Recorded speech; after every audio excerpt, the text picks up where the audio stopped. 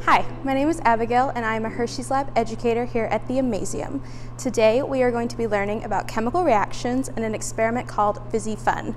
The first thing you need to do is gather your materials. For this experiment you will need vinegar, creamer, lemon juice, soap, food coloring, bowls, a teaspoon, an ice tray, and a freezer. So the first step is to add our liquids into our ice tray. So this is where the option to use food coloring comes in. Since some of these liquids are clear, it would be helpful for you to be able to see your reaction if you add food coloring. The next step in our process is to freeze our liquids. I went ahead and labeled mine before I put them in the freezer so I would know which was which after I was done. Here are my finished liquids, now in ice form. Once they're frozen, you can go ahead and separate them. You can use the same bowl over and over again if you want to. Just make sure to rinse out between samples. Get your journal, write out some things you think will happen. Do you think it will have a really big reaction? Do you think nothing will happen?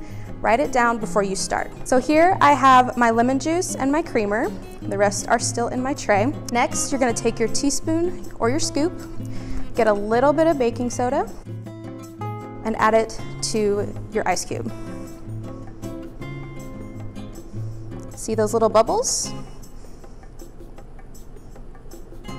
This is an example of a good reaction.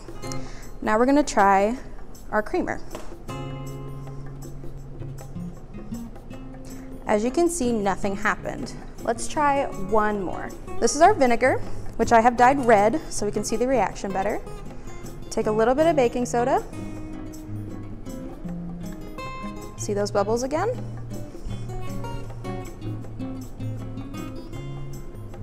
Continue adding baking soda to your ice cubes and write down your findings. So what did the two liquids that reacted have in common? When an acid combines with a base, which is our baking soda, it creates a chemical reaction where carbon dioxide is produced. That bubbling and fizzing, that is carbon dioxide gas releasing. I hope you enjoyed this experiment, and if you try it, please share it with us on Facebook or Instagram.